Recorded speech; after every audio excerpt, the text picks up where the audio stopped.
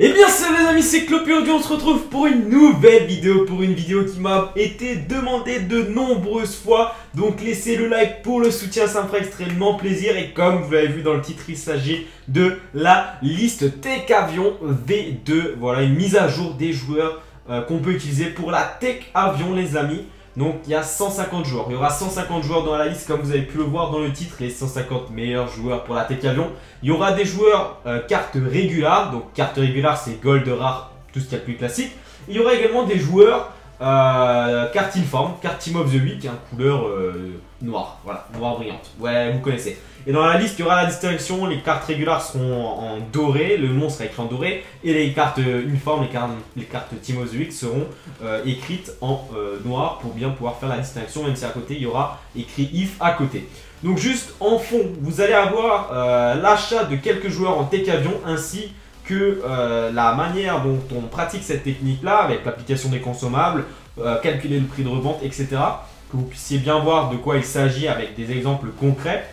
C'est des joueurs qui sont disponibles dans la liste, bien évidemment. Donc je vais juste faire un petit rappel pour les personnes euh, qui voudraient avoir quelques précisions ou qui, ne sont pas forcément sûrs par rapport à, l'utilisation de cette technique-là. Donc il faut savoir que la tech avion, le principe est très simple. Je repasse juste une petite un petit coucou à El Niopat qui est à l'origine de, de, toutes ces, de, de, tous ces bénéfices qu'on peut faire avec cette technique-là. Voilà, on, ne t'oublie pas, on est là, papa. Euh, donc merci à toi pour, pour, pour, pour, euh, le développement on va dire, de cette technique-là. Donc à la base, c'est très simple. Vous devez acheter un joueur, vous lui appliquez 99 contrats, 99 formes, un style. S'il a un poste modifié, tant mieux. Et vous le relistez 10% plus cher pour faire 10% de bénéfice par rapport à votre prix d'achat. Il faut savoir qu'EA vous prend 5% sur chaque vente que vous faites, donc vous perdez 5% de crédit sur le prix auquel vous revendez votre carte. C'est pour cela que pour le prix de revente que moi j'applique à ces cartes-là, admettons on achète un joueur 20 000 crédits. Jusque là vous me suivez, c'est l'exemple que je donne régulièrement. Mais un joueur qu'on achète 20 000 crédits. Pour l'instant, 20 000 crédits, voilà. On lui applique, on va dire, pour 500 crédits consommables. Donc là, tout y est compris, la forme et les contrats. Normalement, vous l'avez déjà acheté avec un style de préférence. Donc si on lui applique euh, pour 500 crédits de consommables, le coût de revient de, la carte revient à 20 500. À 20 500, prix euh, achat du joueur plus prix des consommables inclus, vous multipliez par 1,16. Pourquoi par 1,16 Je vais vous expliquer. Et vous obtenez 23 780. Pourquoi par 1,16 Parce que lorsque vous multipliez par 1,16, vous allez obtenir un prix de revente qui vous permettra de gagner 10% de bénéfices nets par rapport à votre prix d'achat et qui permettra de couvrir la taxe liée de 5%. Je vais vous montrer le calcul. Donc ça, c'est le prix auquel on va, on va lister notre joueur. Donc on va lister à légèrement au-dessus. On ne peut pas le lister à 23 780. On va lister à 24 000. On va arrondir toujours au-dessus. Moi, j'arrondis toujours au-dessus. Ou alors rarement en dessous si vraiment je le sens un petit peu mieux comme ça. Donc 24 000, si on enlève les 5% qu'il nous prend, ça fait 22 800 sur une carte qu'on a achetée 20 500 consommables compris. C'est-à-dire qu'on fait 2300 crédits de bénéfices nets sur cette carte-là. C'est-à-dire plus de 10%. Parce que 2300 sur une carte divisé par 20 500, on fait entre 11 et 12% de bénéfices nets par rapport au prix d'achat de cette carte-là en l'ayant acheté 20 000 avec une application de 500 crédits consommables. Donc voilà le barème que moi j'applique en général euh, pour ma revente en tech avion. Donc faut savoir que pour la tech avion, je dis 99 contrats, 99 formes, un style, un changement de poste. Tant que vous êtes au-dessus de 90 contrats, c'est bon. Tant que vous êtes au-dessus de 95 de formes, c'est bon. Le style après, tous les styles marchent. C'est sûr que chasseur, ombre et euh, catalyseur à la rigueur sont des styles qui marchent, hein, qui permettent de mieux revendre votre carte. Mais vous n'aurez pas toujours la possibilité d'acheter vos joueurs avec une carte chasseur au ombre. Hein. ça, tombe pas toujours du ciel. Donc l'objectif c'est d'acheter justement la carte le moins cher possible, donc soit en Tech 59, soit aux enchères comme on a pu le voir à l'instant avec Sterling, euh, pour, euh, pour essayer de, gratter encore quelques crédits au moment où vous achetez votre carte, ou soit euh, vous, vous achetez prix marché, voilà, sans forcément faire de Tech 59, c'est vous qui voyez. Donc voilà par rapport à ça. Donc c'est une technique applicable sur toutes les cartes qui valent plus de 10k, hein. sinon après on est sur de la tech agent low cost. Mais principalement c'est des joueurs qui valent en général au moins 10 000 crédits, parce que voilà, pour faire 10% de bénéfice sur un joueur qui vaut au moins 10k, ça fait 1000 crédits, tu vois, sur une carte que, que tu achètes 10 000, tu feras au moins 1000 crédits de bénéfice. Donc ça c'est un barème que moi j'applique, il y a d'autres barèmes sur Twitter qui circulent, euh, entre certaines tranches de prix, genre si vous achetez un joueur entre 20 et 30 000, vous le restez à plus 5 000 ou je sais plus exactement. Mais après ça c'est à votre sauce, c'est vous qui voyez en fonction de votre expérience que vous allez euh, acquérir par rapport à, cette pratique de, la tech avion.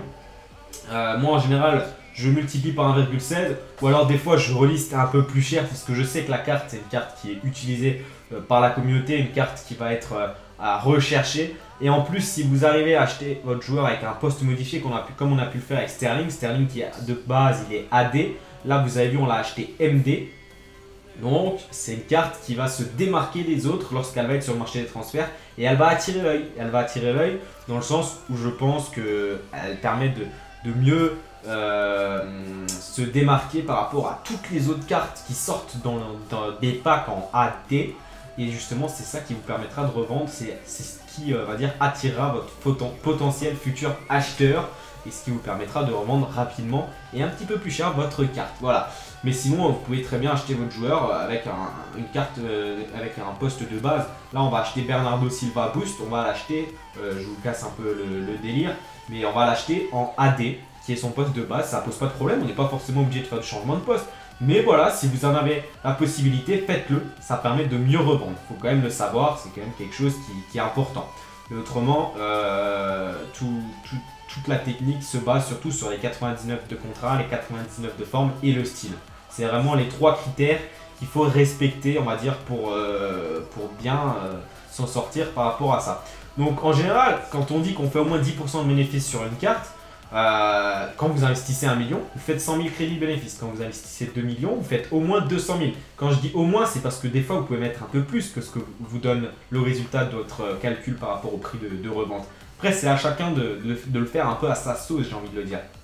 Pour faire cette technique-là, je vous conseille d'avoir au moins 400, 500K pour commencer à remplir doucement votre pile. Prenez les joueurs les moins chers qui seront euh, montrés dans la liste et vous verrez que vous allez remplir au fur et à mesure de votre pile. C'est sûr, si vous avez 20 joueurs en tech avion dans votre pile, vous allez moins vendre qu'une personne qui en a 60, 80 ou voire même 100. Donc forcément, plus vous en avez dans votre pile, mieux c'est. Et c'est pour ça qu'il faut avoir un budget. Vous pouvez faire un petit mélange entre la tech fuite mini, la tech avion, etc. Si vous n'avez pas un budget exceptionnel. Et au fur et à mesure, vous essayez de, de racheter que de la tech avion. Mais il faut savoir qu'il y a des périodes pour investir. Euh, en, ces moments de, de pré-Black Friday, il faut être un petit peu méfiant, il faut suivre les courbes. Mais en général, au moment des, récompenses Fut Champions et Division Rivals qui maintenant sont le jeudi matin, vous pouvez investir et en général dans la journée ça up assez bien et ça vous permettra de, bien revendre. Pareil quand il y a des événements, le marché descend assez bas, vous achetez et vous revendez directement dans la foulée. Quand moi j'achète en tech avion, je relise direct, même si le marché ne remonte pas tout de suite, je relise direct, ça augmente quand même vos chances. Plus vous avez de cartes en vente en termes de, durée, plus vous allez avoir de chances de revendre. Voilà par rapport à ça. Donc là, on va passer à la liste des 150 joueurs. Donc elle s'affiche sur votre écran maintenant.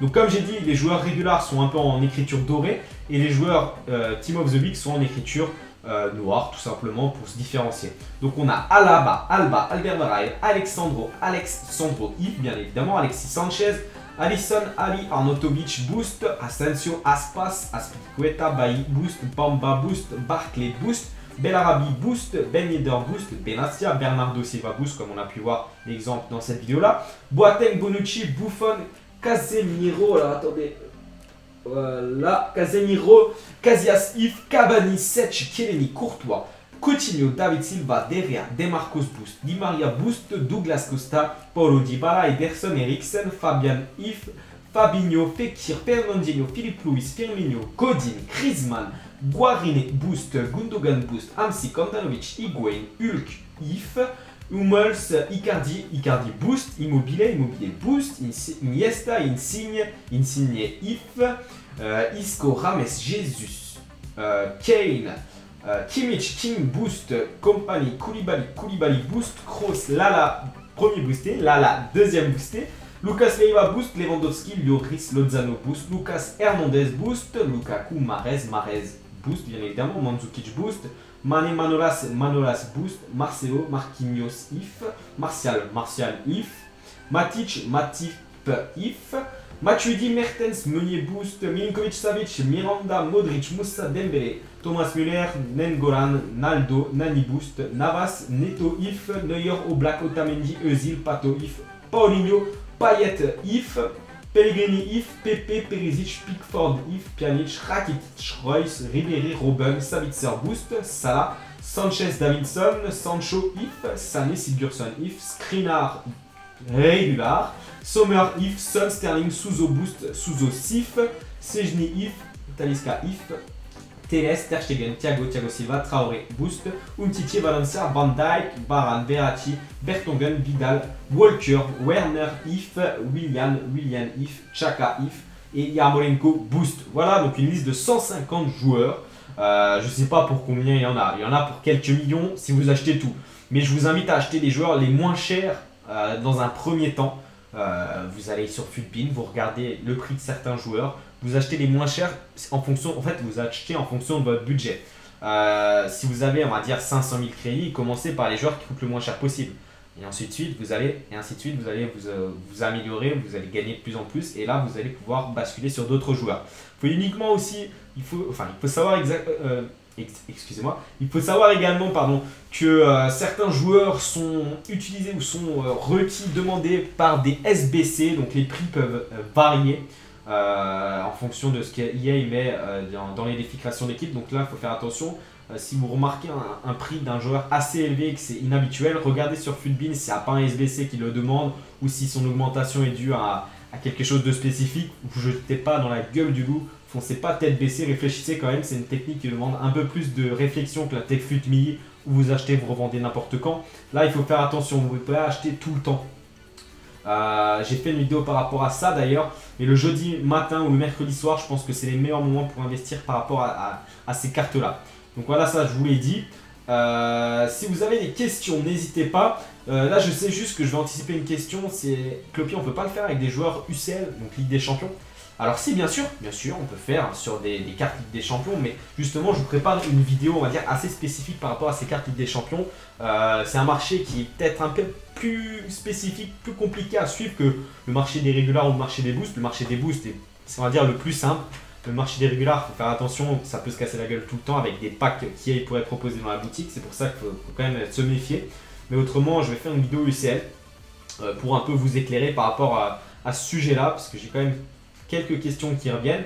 Et euh, comme ça, bah, j'essaierai de, vous aider comme, comme d'habitude, euh, du mieux que je peux, même si encore une fois, je suis loin d'être un, professionnel dans le domaine. Donc voilà par rapport à ça, n'hésitez pas à faire une screen de la liste que vous avez pu voir, ça vous aidera au lieu de revenir tout le temps sur la vidéo. Donc pour ce qui est du barème de revente, vous multipliez votre prix d'achat avec consommable inclus par 1,16 je précise bien 1,16, vous pouvez le faire par 1,17, 1,18, 1,20 même, vous ferez plus de bénéfices. Mais peut-être que vous vendrez moins vite. Après, au fur et à mesure que vous allez pratiquer, comme je le répète, vous allez pouvoir le faire à votre sauce, à votre feeling, j'ai envie de vous dire. Vous allez sentir à quel prix vous pouvez vendre un joueur. Des fois, vous pouvez vendre un joueur 10K plus cher en fonction du style avec lequel vous l'achetez, en fonction du poste avec lequel vous l'achetez, en fonction de plein de critères, vous allez comprendre assez rapidement euh, comment euh, augmenter les bénéfices. Moi, je vous donne le, 1,16 comme, euh, dire comme petite référence pour vous, pour vous aider ceux qui, ne connaissent peut-être pas grand-chose par rapport à ça. Et ensuite, vous allez le faire à votre sauce et vous allez voir que ça va marcher comme sur des roulettes. Donc euh, j'espère que cette petite vidéo vous aura plu, c'est une vidéo qui a pas mal été attendue. Bien évidemment, je vais refaire quelques mises à jour dans, quelques semaines, mais pour l'instant, cette technique marche sur ces joueurs-là, ces 150 joueurs-là. voilà, c'est des joueurs qui, qui, sont utilisés, donc forcément, ça va marcher. Donc j'espère que ça vous aura plu. N'oubliez pas de lâcher le gros like comme d'habitude, ça me fera extrêmement plaisir. Normalement, on arrive à la fin de la vidéo. Voilà, on va terminer euh, d'appliquer les consommables sur William et on va le relister en multipliant le prix d'achat. Donc on a 18 000 en prix d'achat, on va dire 18 500 consommables inclus et on va le revendre à 22 000 si je dis pas de bêtises. Donc voilà, j'espère que ça vous aura plu encore une fois. N'oubliez pas de vous abonner, d'activer les notifications pour ne rien louper en cliquant sur la petite clochette. C'était Clopi, des amis, prenez soin de vous. Bye tout le monde